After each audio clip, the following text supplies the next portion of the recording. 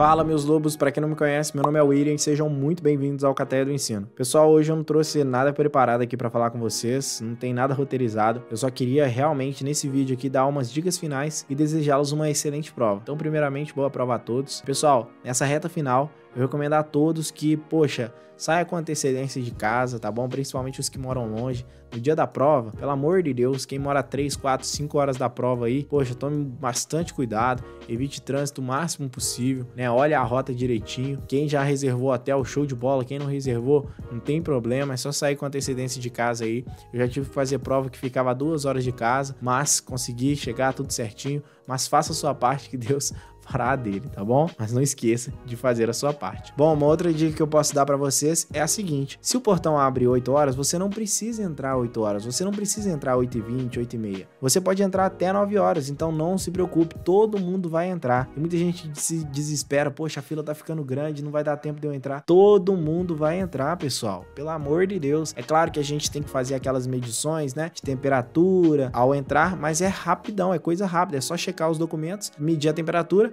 e pronto, acabou. Você não precisa ficar uh, achar que você, por ser o último da fila, não vai dar tempo de você chegar no portão. Tem algum caso de pessoa que ficou para trás porque a fila não deu certo? Pelo amor de Deus, pessoal. Por que, que eu tô falando isso? Porque às vezes você entrando 8 horas, você vai ter que ficar até 9h40. Na verdade, você vai ter que ficar até 9h40 até a prova começar que é o horário de 9h40. Então não se desespere, não demore. É claro, cada um tem sua estratégia. Às vezes a pessoa quer chegar mais cedo ali para ficar olhando pro teto. Beleza. Eu não era assim. Eu prefiro trocar uma ideia, bater um papo com a galera do cursinho, né? Ou até mesmo, poxa, com o pai, com a mãe ali, sei lá, descontrair mesmo, mexer no Instagram, depois deixa o celular com o pai, é até melhor. Então eu recomendo que não entre desesperadamente. Espere, acalme-se. Tem gente que chega 8 e meia lá de carro e já sai desesperado. Eu, calma, calma, não precisa desesperar não, tá tranquilo, chefe. Falta meia hora ainda pro portão fechar. Pelo amor de Deus, pessoal. Não precisa ser esse candidato afobado, bizonho, não, poxa. Haja com tranquilidade. Se é 9 horas que o portão vai fechar, ele não vai fechar 8h59, vai fechar 9 horas ok? Leve uma água, uma barra de cereal, uma barra de chocolate, mas coma moderadamente, tá? Principalmente os mais ansiosos aí, vai comendo, vai comendo, vai comendo, aquilo vai te dar sono na hora da prova, não vai te dar disposição, né? Como eu já disse em vídeos anteriores, o sangue ele se concentra ali na parte estomacal e você não vai conseguir se concentrar da melhor maneira. Claro que não é para deixar de comer, poxa, eu só vou beber água e também comer demais, né? Tente achar um equilíbrio ali. Eu mesmo comia demais na hora da prova, chegava no final eu ficava com sono, né? Mas é porque eu comia de fome mesmo, de querer, não por causa de ansiedade, mas é porque se deixar uma barra de chocolate na minha mão, meu Deus, eu como três. Então eu tenho que tomar muito cuidado na hora da prova. Mas eu nunca tive graves problemas quanto a isso. Mas eu recebo de uma pessoa ou outra, poxa, não comia nada pesado antes da prova, não comia nada pesado um dia antes, dois dias antes, não comia fora, não comia em restaurante, coma em casa, de boa, tranquilo, em lugar seguro, tá? Para não ter nenhuma infecção, para não ter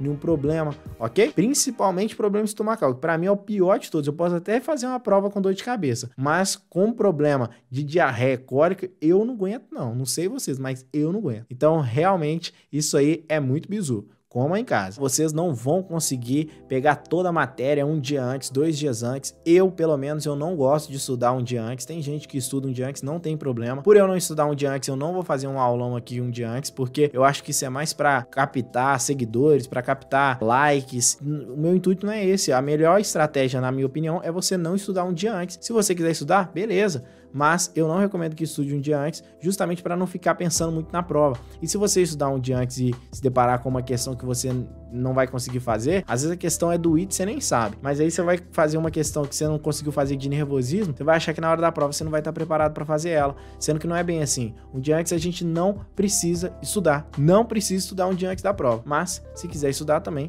é a cargo de vocês. Eu não gosto e também não recomendo. Mas no mais é isso, pessoal. Espero do fundo do meu coração que vocês estejam confortáveis com o estudo, com o gás que vocês deram nessa reta final e principalmente durante toda a trajetória, porque é isso que importa. Não é o resultado, não é fincar a bandeira, não é chegar no final e falar assim, uh, ai, finalmente consegui. Cara, você não precisa, você não precisa carregar o mundo nas costas. Se não deu dessa vez, da próxima vai dar. Se não deu da próxima, da outra vai dar. Tem AFA, tem EAR, tem SPSEC, tem vários concursos para você fazer, principalmente o concurso da AFA. Se você quer porque quer ser aviador, você vai poder também ter a oportunidade de fazer os concursos da AFA. Tem gente que me procura com 24, 25, 26 anos, que não tem nem idade para fazer mais concurso e fala: "Putz, eu nem sabia que existia". Você tá novo, você não precisa carregar o mundo nas suas costas. Pelo amor de Deus, não se cobre dessa maneira, não se cobre exacerbadamente. É claro que a gente tem que ter uma cobrança interna. Poxa, eu preciso ter metas, é claro. Mas estabelecer metas é diferente da gente se cobrar ao ponto de que, cara, eu alcancei isso, agora eu tenho que alcançar isso, agora